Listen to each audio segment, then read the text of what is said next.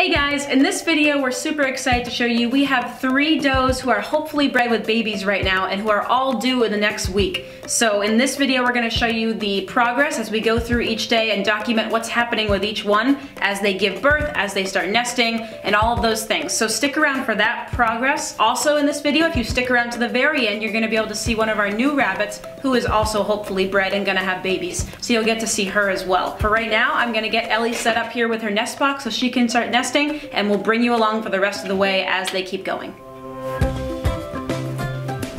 So now we're gonna put the nest box in for Ellie. Um, these are brand new. We had a homemade one that we originally had built, but we had to buy two more because now we have three does who all need nest boxes. So what I'm gonna and do I is- was too lazy to build two more.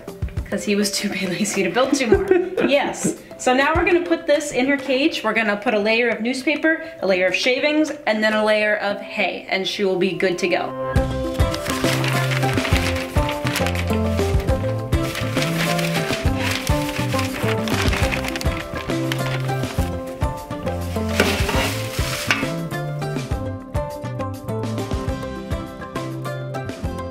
So the nest box is all set up for.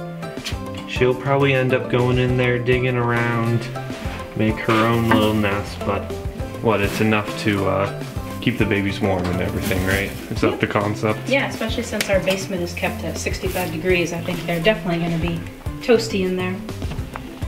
Ellie approves, apparently. She's just gonna start eating the hay.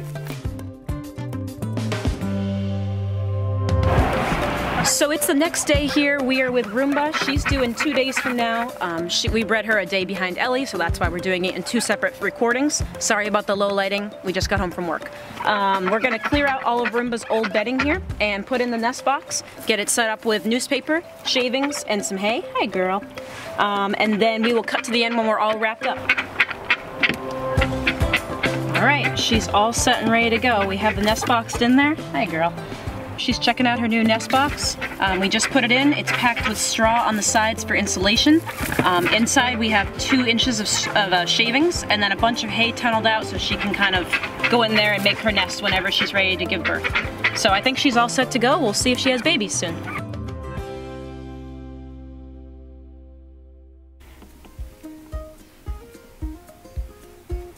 So Ellie had five healthy babies.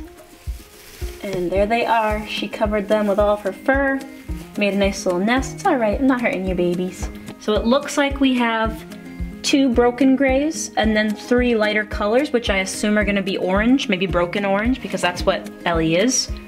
But they're all doing well, and I'm gonna pull out a couple of them for you guys to see. Hi, little buddy. So there's a light colored one. I assume it might be an orange or something like that. And then we have a couple pretty dark ones in here. Let me see if I can grab one. Oh, really? Talking. He's talking. So they're all very healthy, wiggly, and um, so that's a good sign. So exciting to have the bunnies on the farm finally. I know, middle of winter, very exciting. You have a handful of little babies. Yes, I do. They're so cute. A little runt on top. Yeah, you can tell one of them is much darker, like the uh, the solid, probably uh, Here's your babies. blue. It's okay, I'm not hurting them. They're right here. Oh, they they smell mama. Oh, Ellie's licking me. It's okay, honey. Oh, Yeah, she's licking me. Please don't bite me. Oh, they're excited about her. Good girl, Ellie. She's a good mom. She's such a sweet girl. Here you go, good girl. Good girl. How are your babies doing? Oh, she likes that. So this is Nova. She's our newest doe, uh, part of the rabbitry. She is a blue chinchilla color. She's roughly about eight or nine months old. She's gonna be due with babies in the next couple days, so hopefully all goes well and stay tuned for videos of the babies.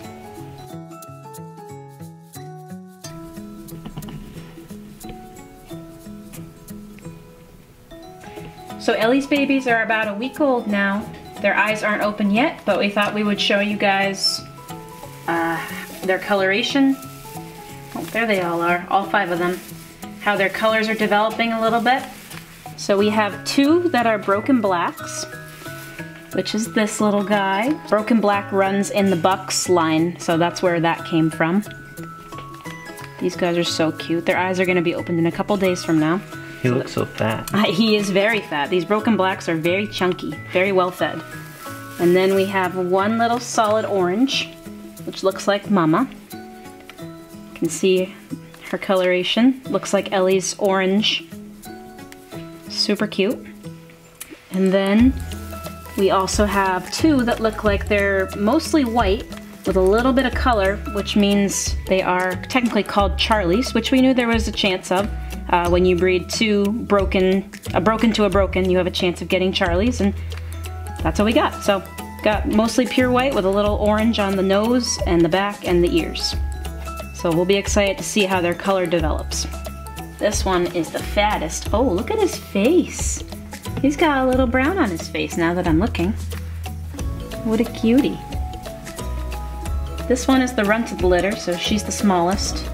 She's got a stripe brown down her back, or it might be orange, I guess. She's got little little spots on her eyes, and oh, she's kissing me. This is the buck we bred with Ellie. He has nice coloration. He's a broken blue. He has some broken blacks in his lineage, so uh, that's why we have a couple of them couple broken blacks in the litter, which is the first time for us getting different coloration than, uh, than the buck. Hi Nova. So we gave Nova her nest box about five days ago. She is about three days late on her due date. So we'll see, we'll see if she has the babies. Um, we're hoping that the breeding took, but we'll just keep you guys in the loop. So one of our does that we bred, the one that lives in the outdoor hutch, the fluffy Angora, we're 99% sure that she's not bred because we are eight days past the due date. So that's a little unfortunate, but we're gonna give her a couple more days just to make sure that there's no babies on the way, and then we'll take out the nest box, and maybe we'll rebreed her in the next couple weeks or so.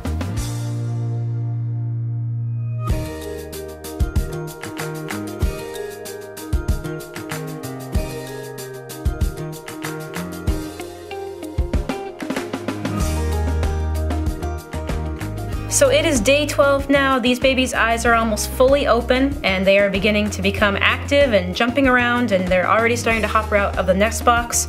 As you can see, there goes one off the blanket. What are you doing, buddy? As for colors, we definitely have a broken chestnut, a broken black, a solid orange, and two Charlies. So we're very happy about the colors. They're all beautiful. So thank you so much for watching, guys. Leave a like and hit the notification bell to stay updated for more videos, and we'll catch you on the next video.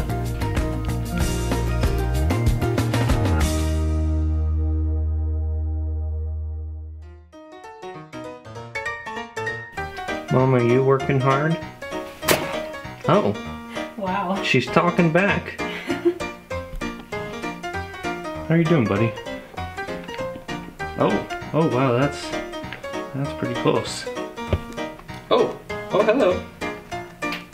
Oh yes, beautiful. On the rabbitry. Ah, hey guys. When your wife is in the cage with her rabbit, and you think that that's where she should stay. Wow, that's so mean. it's because it's your happy spot. That's why I'm saying that. Oh. Yeah, yeah. Yeah, nice yeah, with try, the nice rabbit. try at a recovery. It was a wonderful recovery. No, it was not. Is that your other boyfriend? Yeah, he replaces you sometimes. Well, that's just mean.